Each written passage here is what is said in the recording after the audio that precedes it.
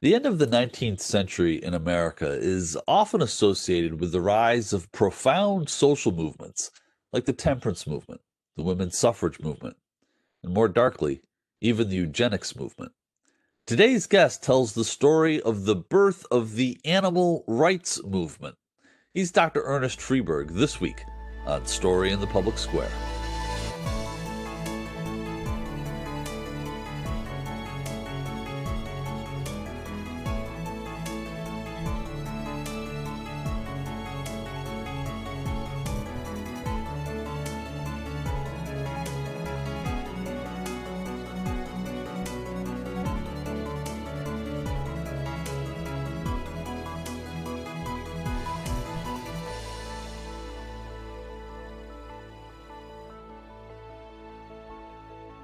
Hello and welcome to Story in the Public Square, where storytelling meets public affairs.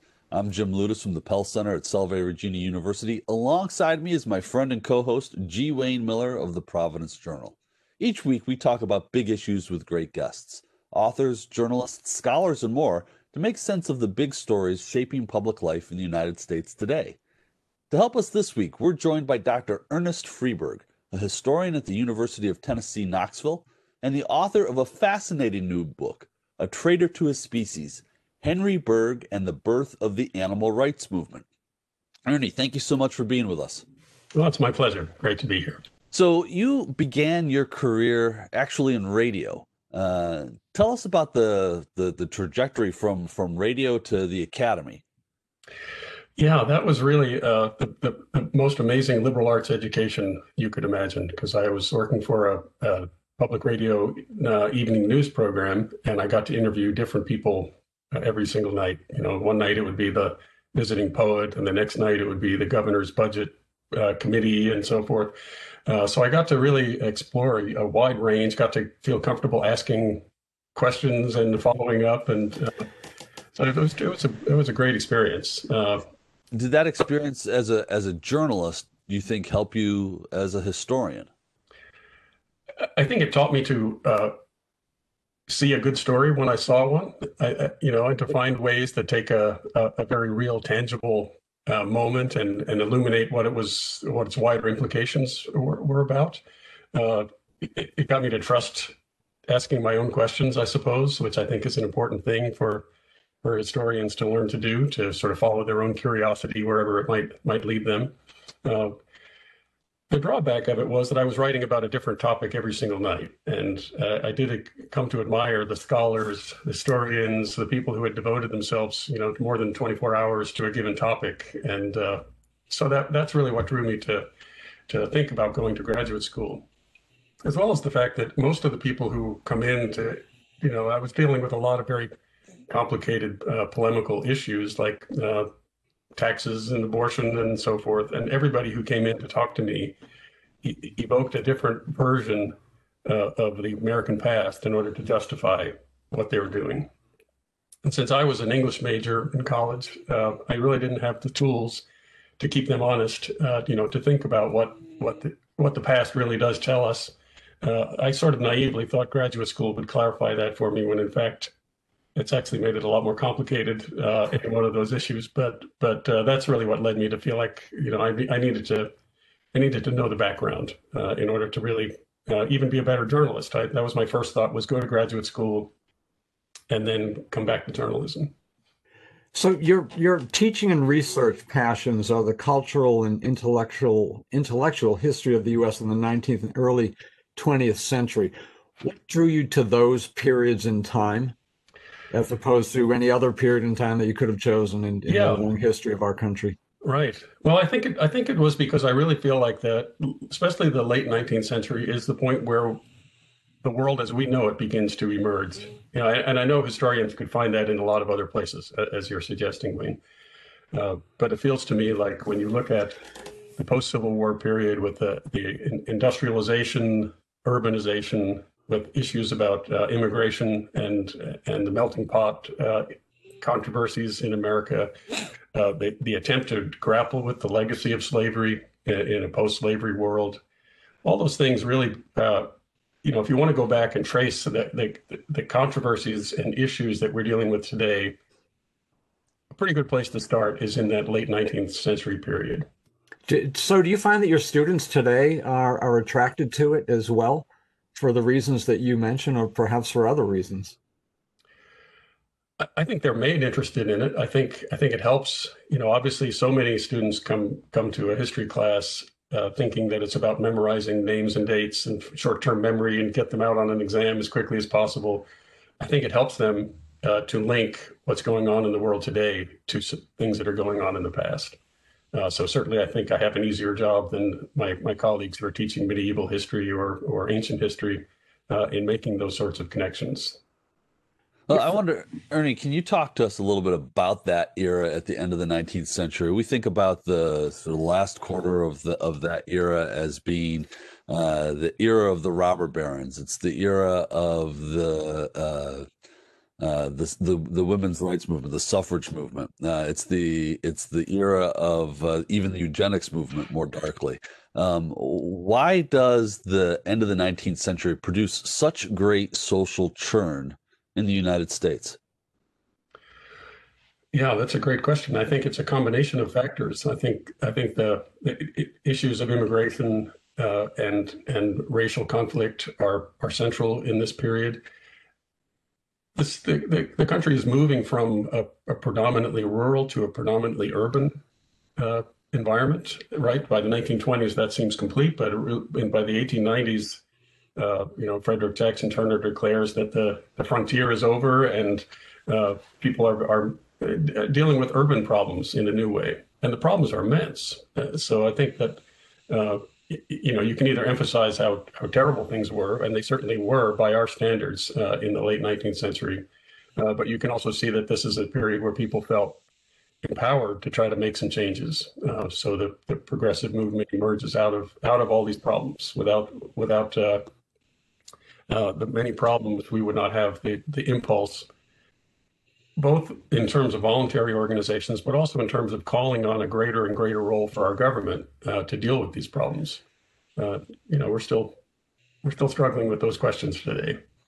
What about the role technology played in this period? This, of course, was the advent, the dawn of the automobile.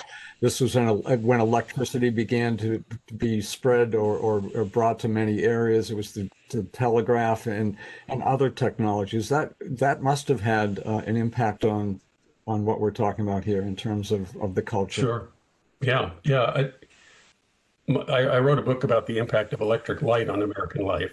Uh, and I explore that. And I think that for me, this time period becomes the period where Americans start to think of themselves as a nation of inventors. Uh, this was, the, and that this was somehow a uniquely democratic uh, process. Uh, both the inventiveness, an enormous number of average Americans uh, filed for a patent and, and, got into the business of trying to make a better mousetrap and and you know try to get rich th- through this uh, but also people on the other end experiencing this enormous uh, technological advance. Uh, there was a, you know, in spite of all these urban problems, I was trying to capture the the incredible excitement that people felt uh, about technology. Even something as you know we think of as, as sort of mundane as the light bulb uh, was greeted as this, you know, enormous leap forward, as it certainly was. So, for our audience sake, uh, the name of that book is The Age of Edison, Electric Light, and the Invention of Modern America. I've not read it, but I look forward to reading it. So, Ernie, you uh, your first book though was The Education of Laura Bridgman, first deaf, uh, the first deaf and blind person to learn language. Uh, Laura preceded Helen Keller by several years. Is that right? Yes, by by decades. She was actually the you know the first person to be taught and uh, when Helen Keller came along, people said, "Oh, here's a second Laura Bridgman." Uh, whereas now, when I explain this story, I have to say, "Yeah, just like Helen Keller, but but 40 years earlier." Uh, and in fact, Helen Keller was taught uh, through uh, Annie Sullivan, who was trained at the Perkins School for the Blind in in uh, Boston, where Laura Bridgman had her her big breakthrough. So in, in 2008, you published, I guess this was your second book, Democracy's Prisoner, Eugene V. Debs, The Great War and the Right to Dissent. And of course, Debs was, was a, renowned uh, socialist and trade unionist. The book, by the way, was a Los Angeles Times Book Prize finalist. Tell us about the book and about Eugene Debs. Yeah, this was his fifth run for the president in 1920, uh, which he did uh, while in the jail cell and uh, got close to a million votes uh, in the 1920 election. And it's really was that story. I've, I've taught, I think my, my journalism background uh, led me to be interested in free speech and free press issues. And so uh, for years, I've been teaching a course about the impact of war on democracy. And I would tell the story about Eugene Debs and the, you know, the great pictures of Debs uh, campaigning in his prison denims behind bars, uh, and and that he would get a million votes. And the students were, you know, wanted to know more about this. And, and I realized myself that was that was a, a, a great story. And I think it really turned out to be something bigger than uh, than Debs. It was it was the first nationwide uh, free speech movement uh, in order to get Debs out of prison. He got into prison because of the anti-war uh, uh, policies, the Espionage Act in 1917. He was sentenced to a 10-year prison sentence, uh, but he got out after three years, and that's that's largely because of this uh, what what was called the amnesty movement to try to get him and other other people out of prison.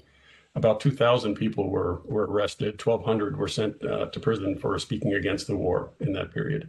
But Debs was the most visible one. And so this social movement organized around getting Debs out of prison. Uh, and it really pushed the conversation in ways that have shaped our own ideas about uh, the right to free speech in wartime.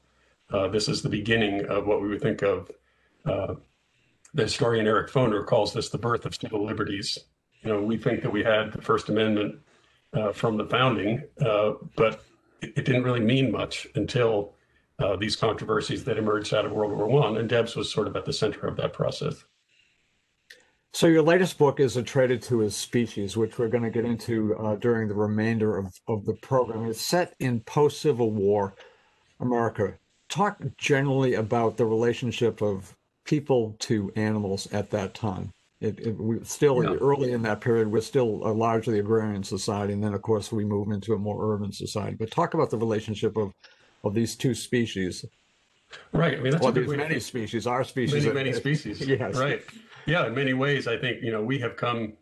Uh, I sort of th- thought about this in terms of the way we think about a city now, uh, and that and that cities are are largely devoid of animals, except one historian says says that you know we only uh, tolerate uh, pets and pests in urban environments now, uh, and this is this sort of culmination of this period. But in the 1860s, uh, when the SPCA movement starts, animals are very much a part of the city. There are huge packs of stray dogs. Livestock is is penned right in right in downtown areas and slaughtered in, in downtown areas. Horses, of course, are the central uh, source of motive power. Uh, we think of this as the era of the steam engine, but in fact, steam engines were were helpless to do much without the support of horses. Uh, uh, especially as local transportation and as support for for uh, uh, the trains. So there was an enormous uh, interaction between humans and animals that I think is part of that transition from a rural environment to an urban environment. You know, it wasn't unusual for pigs to be wallowing in the in the alleys and clearing out the garbage, uh, or for people to keep a cow in the back alley of a of a tenement. Uh, so uh, things that seem alien to us now were very much a part of urban life uh, in the 1860s and 70s. So, who was Henry Bergh, and what led him to uh, to to his role in the, in this narrative? Yeah, he was a fascinating character. He was the, the, the founder of the of the ASPCA, which was the first such branch uh, in New York City. And that's the people, American Society uh, for the Prevention of Cruelty to Animals. Right, that's right. And uh, he uh, came to this idea late in life. He was he was in 53 years old when uh, he suddenly decided that this was his life's work. Uh, he was wealthy, uh, heir to a, an industrial fortune. His father was a shipbuilder in New York City. He took uh, his inheritance and mostly uh, wrote a lot of really bad corny plays and, and bad poetry and uh, you know sort of frittered away his life uh, i can relate in, to that by the way. The bad poetry part. Yeah. So he he was just he wandering the capitals of europe living a very luxurious lifestyle. In the in the during the civil war lincoln appointed him to be uh, part of the the embassy in russia in st petersburg. He was out on the streets one day and he saw a teamster whipping his horse, and it was it was just too much. He suddenly snapped and he demanded that the teamster uh, stop because he was wearing the epaulets and gold lace of, a, of a, an embassy employee. Uh, this teamster dropped the dropped the whip, and Bergh said this was a transformative moment for him that he suddenly realized he could do something else with his life at, at this age. Uh, he went to England on his way home from, from Russia and learned all he could about the Royal SPCA, which had been founded in the 1820s uh, by anti slavery forces there. And he brought that idea to the United States uh, and adopted it uh, in 1866. Passed the first anti cruelty law uh, in the country, the first one with, with any sort of meaningful enforcement power, and uh, founded the, the first of what became you know, a nationwide movement, uh, these SPCA organizations, in, in order to stop human cruelty to animals. Talk about the treatment of horses in particular. You mentioned that that was really the, the epiphany or the apocalyptic moment for Bergh. Uh, take us back to Manhattan, let's say in the 1880, 1890. How were horses were, were used and, and, abused? Do I have that correct? Yeah, sure. Uh, I mean, the, they, they were providing the fundamental uh, energy power for the to to move the city to build the city you know and this is a, a, time of enormous growth and expansion of the city and it was done on the backs of horses uh, the biggest problem that Bergh pointed to, although there were many, was was the overloading. You know, this was the beginnings of mass transportation, and it was done through horse-drawn trolleys uh, that replaced the the stage coaches and and hacks that that uh, were freewheeling, but rather these were were larger, looked like modern day trolleys uh, on tracks, and they were pulled by horses. But there was no regulation about how many human beings could pile onto those onto those uh, vehicles. And so a vehicle that might be able to hold 35 would have 70 people with people riding on the roof, and, and the horses were just you know burned up at a very rapid rate and it, as a result of this. And the owners of the horses were, you know, this was a huge, very powerful business. This was, this was a, you know, a lot of money to be made in this. And the horse owners became very good at figuring out the maximum amount of work they could get for the minimum amount of input of stabling and oats and, and hay and so forth. So they would work these horses uh, and they would burn out within a, within a year or two uh, and you know they weren't going out to pasture. Uh, they were quickly rendered and and recycled, uh, and new horses brought in. Uh, so they, they were really treated as as organic machines rather than as living, intelligent beings. In addition to that, of course, everything else was dri- driven by horses, and so there was a lot of whipping and, forcing of horses. There were very few traffic regulations, so there would be massive traffic jams, and teamsters would be pounding their horses with bricks and uh, you know, won't even set a fire underneath a horse in order to get it to get up, these sorts of things. This was a commonplace sight uh, on the streets of New York. So when Bergh decided that he wanted to fight cruelty, most uh, uh Americans in New York who, who signed on, and they did very quickly, uh, thought this is what they were fighting, was to, to protect horses. Uh, Bergh was, you know, became controversial because he pushed the argument much further beyond horses uh, but that was really the, the, the primary impetus for the movement. Ernie, is there a? Uh, uh, I think about sort of the civil rights movement of various eras. There's a there's a in the, in the American experience there is a great role for religious organizations and faith organizations. I think about the role of uh, of of Christian theologians and ministers in the abolition movement in the first half of the 19th century was there a role that religion or religious leaders played in the movement led by Henry Bergh? I would say it's a it's a it was a, a form of, of liberal Christianity. Bergh himself was not a, a conventional believer. Uh, I, I, think that people considered associated uh, Christianity with the spread of enlightenment, with the spread of generosity and kindness. Uh, so Bergh often uh, appealed to the clergy and, and and made arguments that these were essentially God's creatures, uh, not put here to, for us to exploit, but rather that we had an obligation to them. You know, this is an ancient debate about our relationship with with uh, the rest of creation, uh, and it was sort of swept up into into that same argument. So I think it was a general uh, religious but also social progressive impulse uh, that was driving this for many people.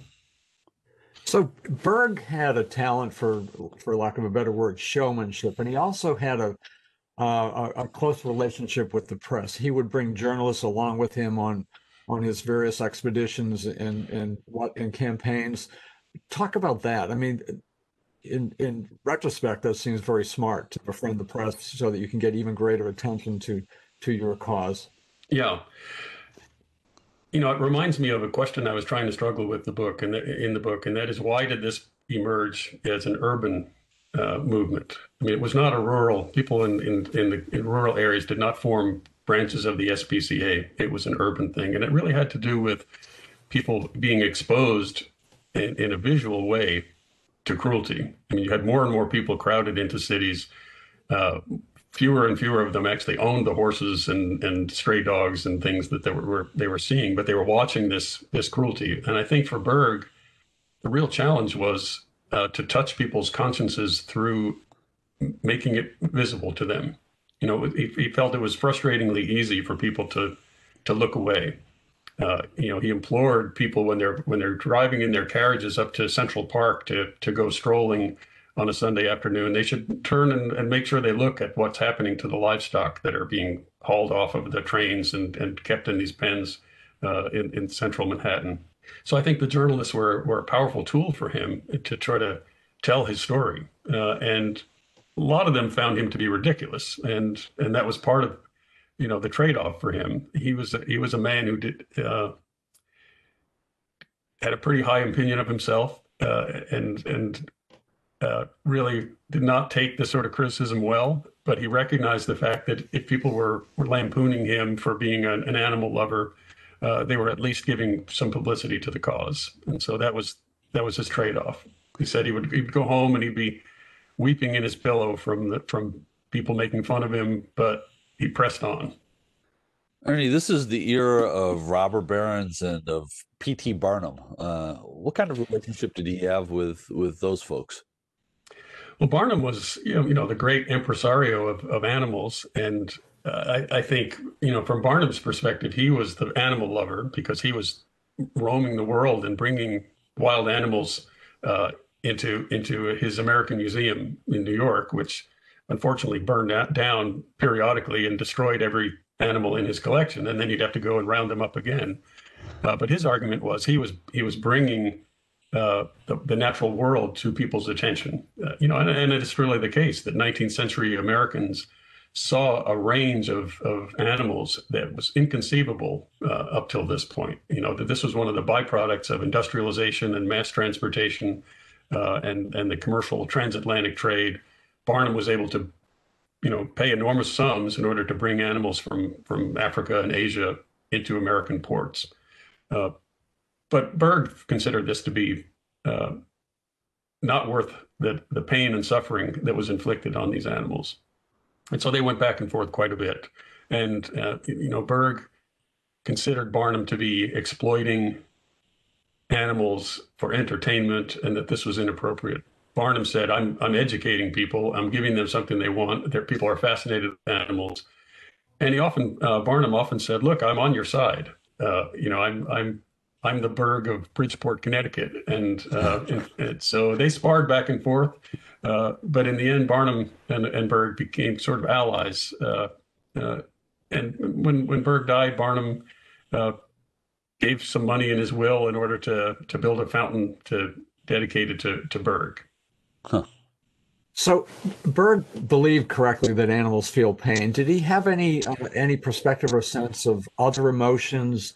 you know, did he believe that animals uh, could could love or could be anxious or fearful or things that I think we would recognize in our in our own pets today, certainly during the pandemic, uh, for you know for different reasons. Did, did he yeah. go that far philosophically? Uh, oh, absolutely, absolutely. I think uh, he was less focused on this. He was he was very much a, a, person who hated human cruelty more than he loved animals, and that was one of his you know the sort of mysterious things about him was that he didn't he was not an animal lover. He just hated uh, unnecessary uh, suffering. But many people in the movement uh, following his ideas uh, promoted what they called humane education. And it's exactly what you're talking about. What they're trying to do is, especially for the young, is to instill in them uh, a sense that that animals are like us. And so the, the you know, enormous literature that was sort of anthropomorphized animals as as you know loving their families and loyal to their masters and you know real fascination with the Saint Bernard dogs in in Switzerland who were coming to the rescue of skiers and all these sorts of stories. Uh, the most famous of these was the the novel Black Beauty, which is still considered a classic and uh, was was a, a, British novel, but was brought to the United States uh, during this SPCA movement and became a, a bestseller at that point. And, and a similar idea: let, understand animals not simply as as property or as servants of our desires, but rather as as full live uh, beings with souls. Ernie, I've got literally about uh, 25 seconds left here. What is the legacy of Henry Bergh and the SPCA today? Well, I think that that that idea that we have an obligation uh, to other species uh, is is something which really begins in this in this period in a profound way. And I think for Bergh, it was not simply the impulse, but it was also figuring out ways to institutionalize that, to pass a law, to put agents in the field that enforce the law, to drag people into court. All of this was a necessary part. It was not simply a matter of encouraging people emotionally, but it was also a matter of building the institution that we still have today and, and many, many more uh, that are actually out doing the work uh, of protecting animals. Well, it is a really fascinating and interesting read. The book is A Traitor to His Species. He's Ernie Freeberg. Ernie, thank you so much for being with us. Oh, it's my pleasure. That's all the time we have this week, but if you want to know more about Story in the Public Square, you can find us on Facebook and Twitter or visit pellcenter.org where you can always catch up on previous episodes. For G. Wayne Miller, I'm Jim Ludes asking you to join us again next time for more Story in the Public Square.